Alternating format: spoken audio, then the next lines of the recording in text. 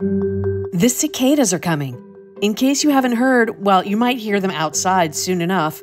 Brood 19 and Brood 13 are emerging at the same time for the first time since 1803, which was when Thomas Jefferson was president. So let's give you an animated look at what to expect this spring.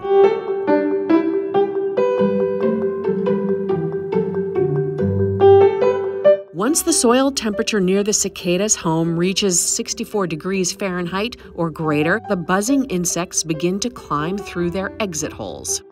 That same night, cicadas transform from nymphs or their sexually immature phase to adults.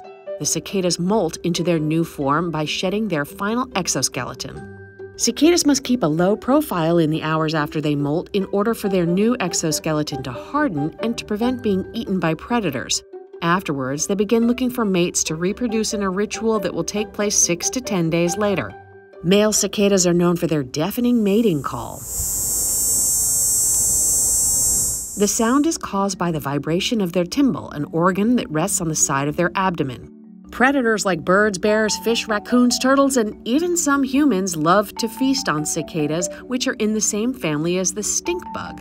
After mating, female cicadas use their ovipositor to slice into small trees, shrubs, and even grapevines.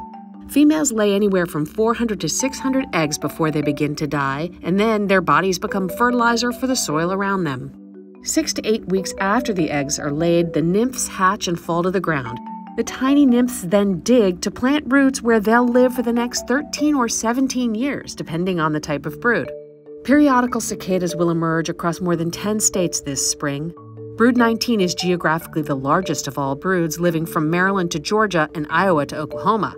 If you manage to miss them this year, the next emergence will happen in 2025 with Brood 14.